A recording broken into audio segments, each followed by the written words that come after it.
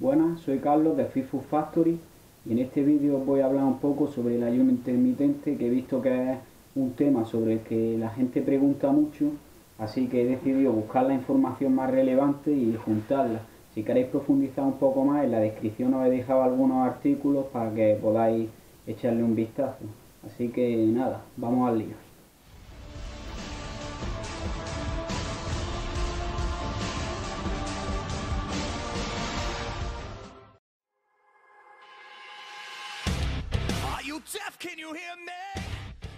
Lo primero que tenemos que saber es que no se trata de una dieta, sino de un protocolo de alimentación que consiste en pasarnos X horas al día ayunando y que sería una ventana de alimentación que serían las horas en las que sí que ingerimos alimentos o, calorías en este caso.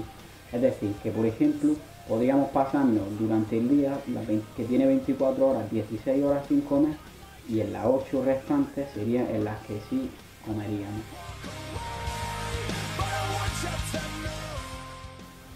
Existen diferentes protocolos de ayuno intermitente. Yo voy a hablaros de algunos de los principales y más usados. El primero de ellos es el protocolo Lean Gain, que consiste en realizar 16 horas de ayuno y 8 horas de ventana de alimentación. Las 8 horas de ventana de alimentación cada uno puede hacerlas en las horas que le dé la gana, en las que mejor le venga o en las que le sea más cómodo. Pero siempre todos los días deben ser a la misma hora. Otro protocolo es el llamado Eat, Stop, Eat de Brad que consiste simplemente en, a lo largo de la semana, en los dos días que se quieran, siempre y cuando no sean seguidos, realizar un ayuno durante las 24 horas.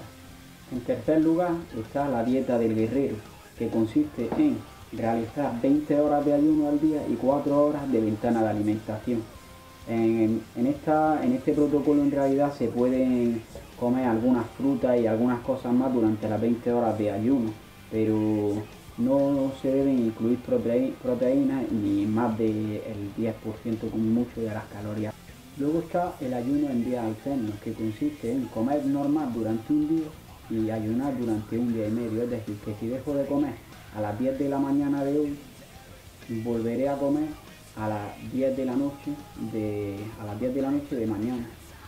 Y por último está el ayuno a voluntad, que consiste simplemente en ayunar las horas que desees, cuando desees, que es lo que más se aconseja a la gente que nunca haya probado el ayuno intermitente y quiera probarlo.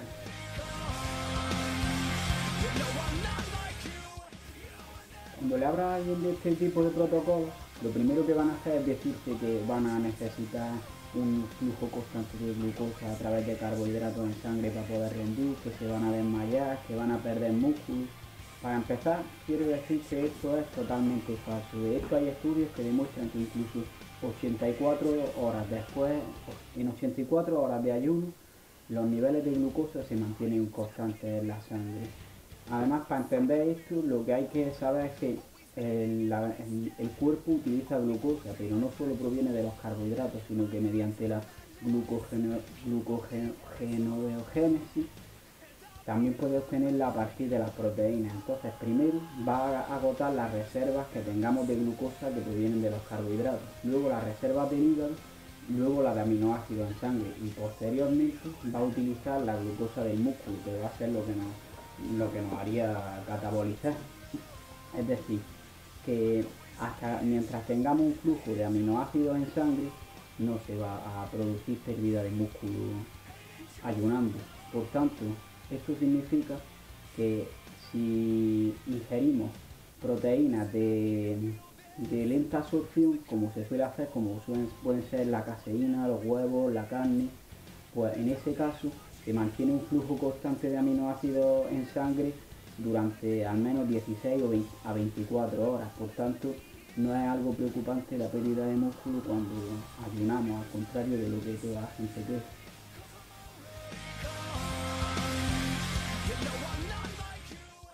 Antes de hablaros sobre los beneficios del ayuno intermitente, quiero dejar claro que la mayoría de los estudios que se han hecho hasta ahora han sido realizados sobre ratas, así que tampoco es muy seguro que vaya a funcionar, pero parece que la cosa va bien encaminada. Además, las ratas comparten casi todo el genoma humano.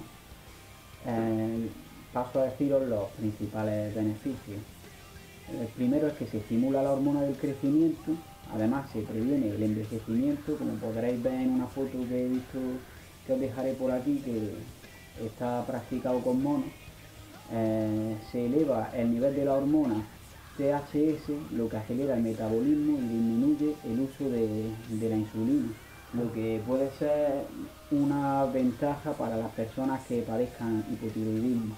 Además se potencia el metabolismo de la glucosa, se provoca un mayor uso de la grasa, disminuye el riesgo de enfermedades cardiovasculares, diabetes, enfermedades crónicas, presión sanguínea y triglicéridos, mejora la sensibilidad a la insulina, puede mejorar la salud cerebral, mejora la sensación de apetito. Hay algunos beneficios más, pero estos son los más importantes y los más fáciles de entender, por así decirlo.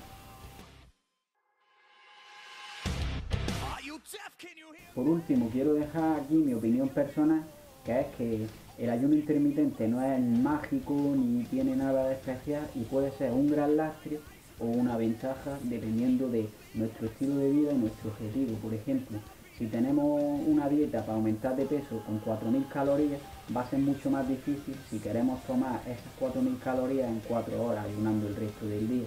Sin embargo, si tenemos una dieta para bajar de peso con 1500 calorías, por poner algo, pues en ese caso va a ser mucho más fácil. Si por ejemplo nos saltamos el desayuno y solo comemos desde el mediodía hasta la noche, porque tenemos mucho menos tiempo para pasarnos de, calorías, por tanto es mucho más fácil crear ese déficit calórico.